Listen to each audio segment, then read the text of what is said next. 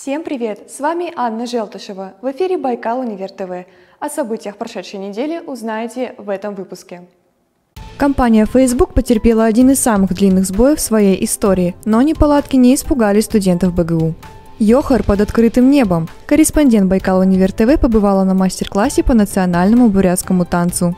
Знаете, что такое ката и кумите? Нет? Тогда оставайтесь с нами. Что делать, если забыл пропуск или вообще опоздал на пары? Ответы на эти и другие вопросы есть в новом цикле молодежных лайфхаков. Какими советами поделились студенты Института управления и финансов, расскажет Владимир Изместьев. Студенты Института управления и финансов разработали целый цикл молодежных лайфхаков. По задумкам авторов проекта, эти видео помогут облегчить пребывание в университете. Вот на вот это расстояние ты должен подойти. Да, чтобы вас убить. Сценарий проекта представляет собой серию жизненных ситуаций, в которые может попасть каждый студент. Сначала зрителям будет представлен неправильный вариант действий, а потом, как нужно себя вести правильно. Ситуации бывают, например, как ты поссорился со старостой, Например, э, опоздание на пару. Что делать, если ты забыл маску, пропуск или еще что-нибудь? В съемках проекта приняли участие не только студенты Института управления и финансов, но и сотрудники дирекции институтов, инспекторы, преподаватели и даже охранники. Так, что мы делаем здесь?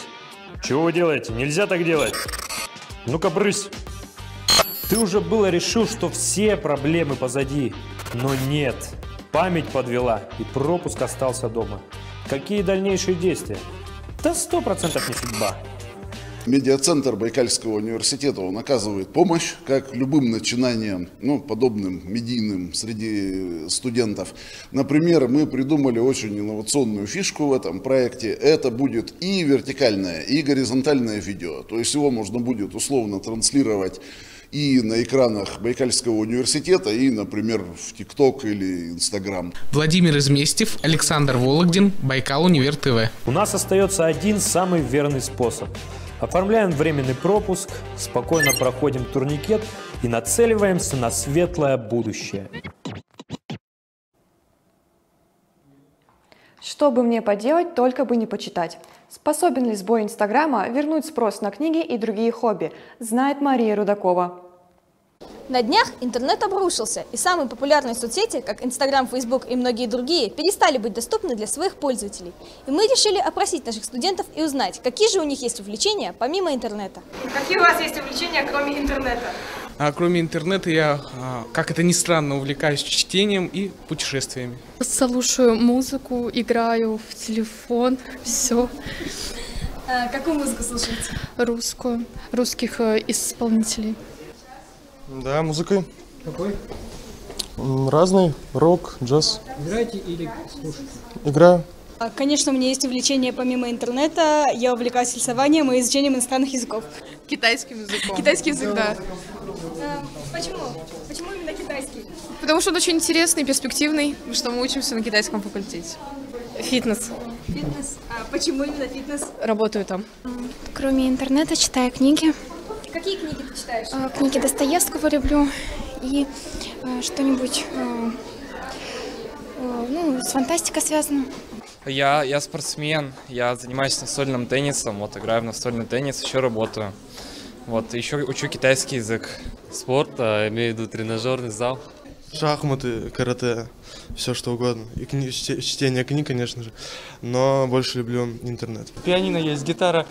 Инстаграм на самом деле это не центр жизни. Жизнь на самом деле очень интересная штука. Вот. Главное видеть этот интерес и идти за ним. Вот так. Рудакова Марина, Игорь Титенко, Байкал Универ ТВ.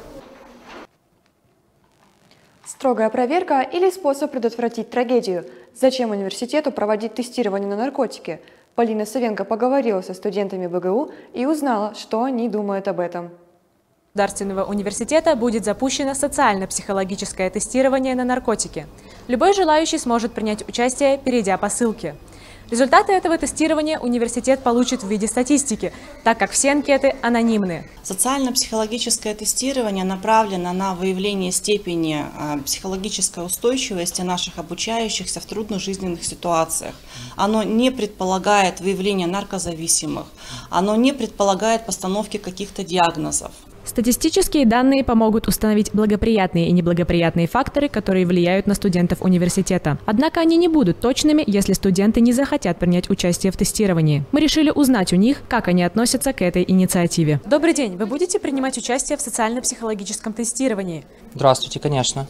А почему вы считаете, что вы должны пройти это тестирование?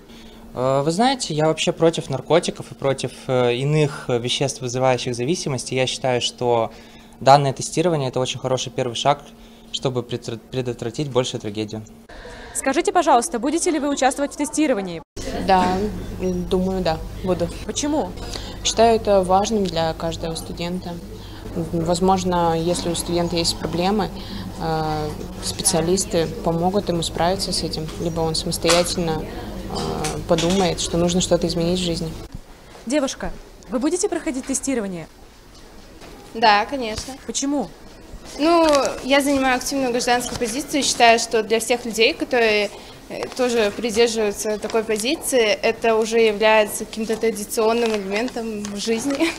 Скажите, пожалуйста, вы будете участвовать в тестировании? Да. А почему? Ну, я не вижу в этом ничего плохого. Я считаю, что это нормальная практика, которая должна проводиться. Почему?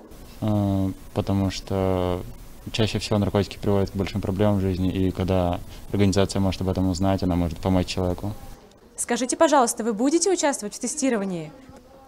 Добрый день, конечно. Почему? Я считаю, что это очень обязательно, и при, даже принимая во внимание тот факт, что основная волна, которая захлестнула нашу страну в 90-х, именно по распространению наркотиков, уже миновала, мы должны оставаться бдительны, и мы должны проверять как молодежь, так и взрослых, потому что это может принести огромные потери для нашей страны. Студенты Байкальского государственного университета готовы проявить активную гражданскую позицию и принять участие в тестировании. Этот маленький шаг может принести большие результаты в борьбе с наркозависимостью. Не оставайтесь в стороне и вы. Полина Савенко, Игорь Титенко, Байкал Универ ТВ. Межотраслевой центр повышения квалификации БГУ подготовил новых чиновников со всего Байкальского региона. Представители мэрии изучали работу с бюджетом, финансовую грамотность и даже искусство ведения переговоров. Иллюстративным материалом к темам семинара стали недавние события в градообразующей отрасли. Одно из них – заявление министра обороны Сергея Шойгу о намерении построить новые города в Сибири. Это даже важно э, и, может быть, тем, кто слушает, и мне, потому что я вижу обратную связь, э, задают вопросы, я узнаю то, чего, допустим, я не, не знаю со стороны региона, э, какие проблемы существуют у муниципалитетов, и, в общем-то, учитываю это даже в своей работе потом. Теплый осенний день – это прекрасный повод возродить традиции своего народа. Как прошел праздник Йохара, расскажет Мария Полежаева. 5 октября Центр культуры коренных народов Прибайкалия организовал на острове Юность праздник Йохар на Андаре. В программе торжества были представлены яркие вокальные и танцевальные выступления, горячий чай с молоком и вкусные бурятские боовы. Ансамбль национального танца Андара провел мастер-класс по традиционным движениям Йохара из разных районов Бурятии. Ребята не знают своего родного языка, не знают э, своей культуры. И посредством вот этих мероприятий они как-то более, может быть, ближе будут э, к своей культуре, к своим корням корням, и э, чтобы они самоидентифицировались, э, знали свои корни, своих предков. Культура Йохара возникла в период родового строя в связи с празднествами по случаю удачной охоты. Этот древний обрядовый танец имеет особое сакральное значение, связанное с культом солнца, так как движение танцующих по кругу слева направо совпадает с направлением движения нашего светила.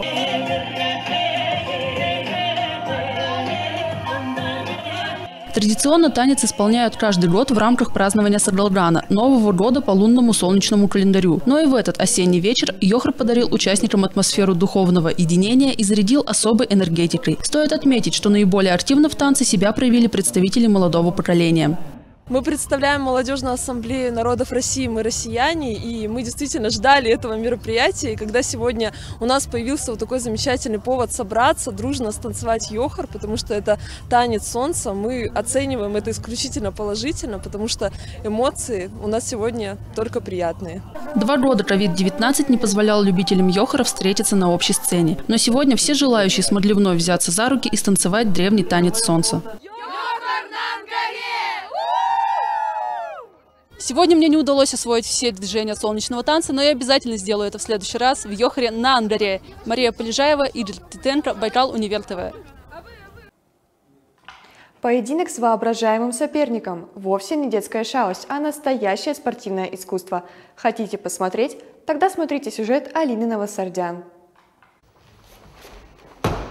Будущая абитуриентка Байкальского государственного университета Дарья Пирва, учащаяся 14-й школы города Иркутска, приняла участие в пятой летней спартакиаде молодежи России, прошедшей в Анапе. Дарья соревновалась в боевых единоборствах, в частности во всестилевом карате. Молодая спортсменка показала свое мастерство в дисциплинах ката и кумите возрастной категории 16 и 17 лет. В трехдневных соревнованиях спартакиады Дарья с большим успехом завоевала третье призовое место. Это соревнования финала финала чемпионата России. То есть, естественно, там были только лучшие спортсмены, которые отобрались заранее уже на эти соревнования. В каждой категории э, было 16 человек, ни больше, ни меньше.